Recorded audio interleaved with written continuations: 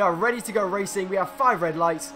It is lights out and away we go. Let's see how good a start Flores can get off pole position. It looks like he's pretty evenly matched with Yano. As we all go down into turn one, there's a Force CD off right at the back. And Flores already goes defensive into turn one. Jarno going to have to go to the outside. And he's carried much more speed around the outside. I think he's going to have Flores into turn two. And he does. Yano takes the lead of the race as Alonso is sideways. He's hit a Mercedes. He's been com carried completely off the track. And we said there might be a crash at the start. It looks like that has happened already.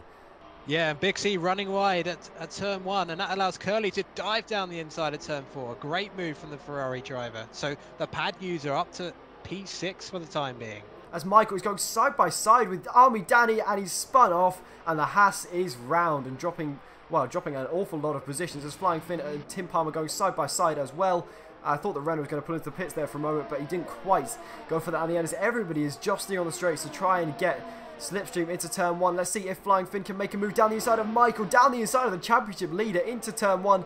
And he just about leaves him enough space and they will still be side by side on the exit of turn two into the chicane of turns three and four. Michael just about manages to stay ahead and he's slowly starting to work his way through the field as Jaythorn almost loses it out of the final corner and now he's going to get passed by Big C who I believe he just passed on the previous lap. So the Toro Rosso is going to regain that position to turn one. Jaythorn trying to stick it around the outside, but I don't think the Toro Rosso has left him enough space to do that. And Big C moves himself back up into P8, and that could potentially give Michael a chance to pounce into the next chicane.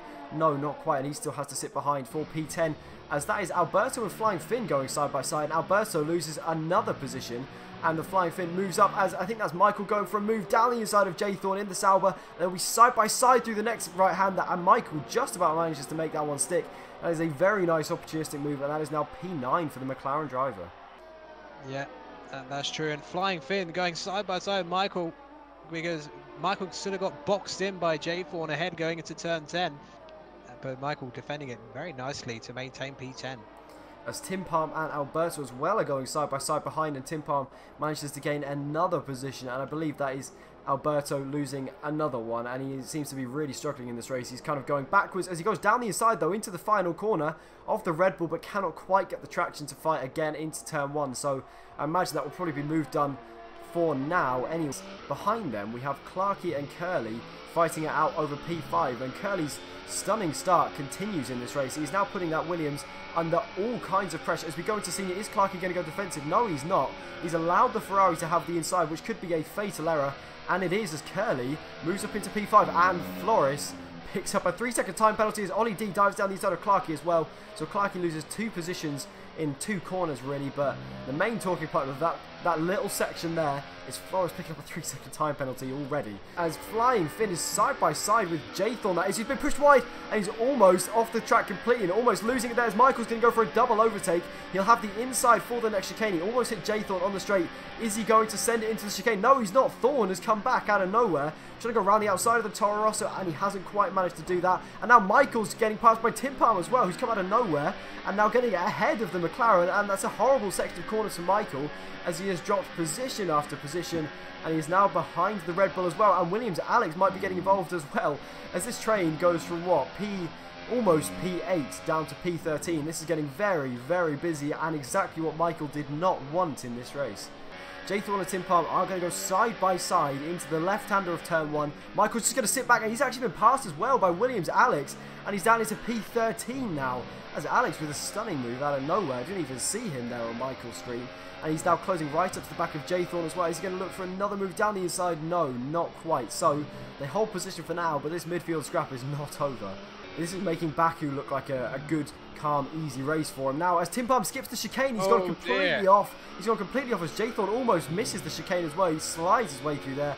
And Tim, Tim Palm, I think justly, picks himself up a five-second penalty for that. As now Williams Alex is looking to try and get past Jaythorn. He's miles ahead of... Um, of Michael behind, and they are going to be going side by side into the next corner, and Alex picks up another position, so he's now the one slowly working his way through the field as Jaythorn's very wide, and surely that's going to give Michael a chance.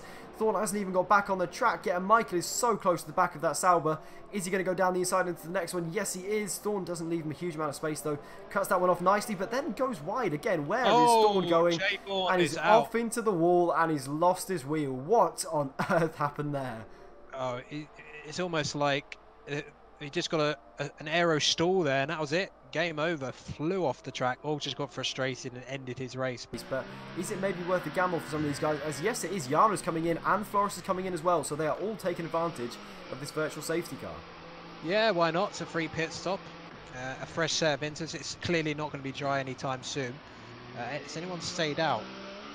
Uh, no, Curly won't be. And Finn having a severe collision with Big C for some reason. And he's lost half his wing. What on earth's happened there, Toro Rosso? That's a very odd one, as Floris has actually been Floris has been held in the pits and he's lost a position there. He's lost a position not only to Deagle Killer but also to Epic Gamer as well. And he is now what down in P4 in this race, and he's they've all come out behind Flying Finn and the Toro Rosso. So that has really worked out extremely well for Epic Gamer and Jarno, but not so well at all for Deagle Killer and Floris, who's down at P7 actually. Yeah, but one person who could be benefiting from this massively, and he didn't have the best qualifying session, is Tim Palm. He's done 11 mm. laps on those inters, more than anyone else left on track. So if he can just, you have to, he, he should just let Floris. Oh, they banged wheels. Goodness me, that could have been a huge accident. If Tim Palm can just, you know, slow down a bit and just stretch this out a bit, it's got a big gap to Curly behind. Uh, you know, when when the pit stops come, even if it is a double stack, he will still be in a pretty good top 10 position. So we think that the dry tyres are now faster. You would assume that both these two leaders would now come into the pits and Yano stays out. Oh, could that be the first mistake he's made? DRS is enabled just oh. as Epic Gamer comes into the pits. He has called that perfectly and Yano is going to be out there stranded on a set of the intermediate tyres on what is now a dry track. That could be the end of his challenge for the lead. Yano has come into the pits now for that set of super softs and let's stay on board with him as he comes out of the pits. Where is Epic Gamer going to be? This is going to be mighty close. So let's stay with Epic Gamer in the Haas. In front of him, surely he'll be able to see that Force India as he comes out of the pits. And there he is. He takes the lead of this race just oh. about. Yano Racing is just behind as Alex retires from the session. His nightmare of a race finally comes to the end. And Jarno's two and a half seconds back from Epic Gamer. That call from the Haas was perfect. Yeah, absolutely brilliant from Epic. You know, he just bid his time and he was playing some mind games with Jarno all that time. But Deagle and Floris going side by side. Deagle, surprisingly, has gone for the soft tyres for some reason. So he's now under enormous threat from Flores. At least he would be if Flores didn't have so many penalties. Yeah, I mean, whatever, hap- whatever between these two, you would assume that Forest's penalties will put him comfortably behind the Red Bull anyway, but whether Deagle Killer knows that is another question, and maybe actually, given the colder temperatures, his soft tyres might be working reasonably well, but this should be an easy move surely for Flores now. He has the DRS open, and he has the inside for the chicane as well. This should be a very simple move, and it is in the end. Down the inside into the chicane, he's even able to take the racing line before we even get to the corner, so Flores now back up into P3, but whether he'll stay there, given his penalties, is another question. He's got way more battery than Epic Gamer. He's been stockpiling it this lap. He's going to go for an all-out assault now or never, surely and he is so close to the back of that Haas. If he can keep it together through this next right-hander, surely he's got to be close enough to Epic Gamer to go for a move down this straight. He's turned up his ERS into overtake. Finally, Epic Gamer already goes defensive way before we even get into the chicane. Yano is closing. He's closing again. Is he going to look to the inside? No, he's not. Epic Gamer forces him to the outside. He looks fully around the outside as he made that one stick. What a move this would be. And Yano takes the lead of this race with a stunning move around the outside. But can Epic Gamer do anything to come back at him into Signes? He's running low on fuel. He's running low on ERS, and there is nothing he can do at this point. So on lap 25 of 27, Yano takes the lead of this race. And is there anything left for Epic Gamer here? Yeah, there's a crazy battle going on for P9 between Big C, Danny, Freak, and Tim Palm as Big C is trying to defend into the chicane and he just about manages to stay ahead as all five of these cars really are fighting over what is P9 and P10, the final points paying positions here. Big C is going to have to go defensive into that right-hander. Army Danny G is trying to carry it all the way around the outside. This would be some move if he manages to pull it off. He is still there on the outside of Big C. Can he go all the way around the outside of this next right?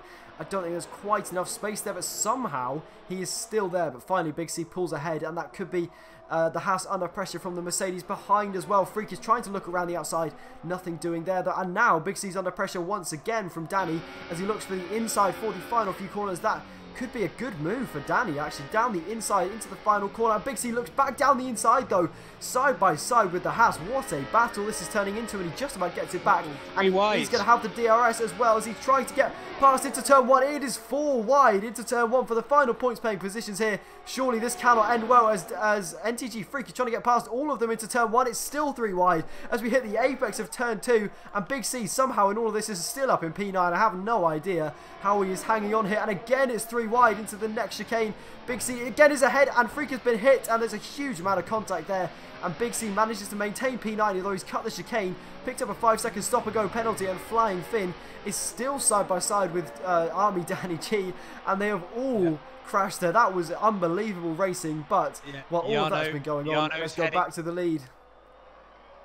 As Jarno he has survived this entire race. What a drive from the Force India driver. He was perfect in the wet conditions and he's been perfect in the dry conditions as well. Yano crosses the line to win the French Grand Prix ahead of Epic Gamer, who also comes home in an impressive second. And then Floris will cross the line in P3. But Whether he finishes there with his number of penalties is going to be another question. Deagle Killer will come across the line in P4, but take that P3 away from Floris. And then it'll be Veloce Oli D with a solid P5 across the line. Not too bad at all from the Mercedes driver. Uh, there was a bit of damage limitation for him after not the greatest of qualifying. And then Curly setting the fastest lap of the race as well for good measure in a strong P6 for Ferrari. Clarkey then will cross the line in P7 ahead of Williams Alex in P8. Not too good a result for him. And then the two Toro Rossos who've been battling all all day pretty much will cross the line in P9 and P10 and it's actually going to be side by side up to the line behind between Danny G and NTG Freak and the McLaren and the Red Bull behind them. Let's see how penalties affect all that. And across the line, it will be Flying Finn from Big C, from VGI Michael, who doesn't score any points whatsoever. And don't forget that you can vote for your own driver of the day. There is a link in the chat from the official AOR channel, so make sure you go and do that. And we'll see who eventually manages to pick that one up. But I would agree with you there. It has to be Yano, 100%. He has driven perfectly, even though you could say that he messed up that that call from going to the intermediates to the dry tyres, but he more than rescued it, and well, it was a brilliant drive in the end, and more than deserving of a victory. Yes, but you know, Epic Gamer, he he really, you know, he put on a great drive as well. He just couldn't get past him in in the interstint where he clearly had better performance than Jarno at that point. But, you know, Jarno once it went dry, you know, he was he was literally, as I said earlier, a man possessed trying to get past, and it was a great move to get it done. Great racing from those two. Yeah, it was indeed. As we'll take a look at the final results, then it is Jarno Racing who takes his first victory of the season ahead of Epic Gamer in second, with Deagle Killer a strong third for Red Bull, and then Veloce Oli T actually getting P4 because Flores had 12 seconds worth of time penalties. That is frankly ridiculous. And then Curly up in P6 again, strong from him, with Williams Alex ahead of his Williams teammate Clarkey in P8, and then the two Toroses of Flying Finn and Big C rounding out the top 10. And then outside of our top 10, we have VGI Michael, Tim Palm, Danny MG, Cass, NTG Freak, Aresi, Alberto, and then I think Alberto actually was our the last of our finishers. But what a race once again. That was awesome. But that is going to round out our coverage of this round 8 number French Grand Prix. Thank you all very much for joining us. Make sure you go and check out the PC stream, which is live now, and then the Xbox stream later on. But thank you all very much for joining us, and we will see you next week. Goodbye.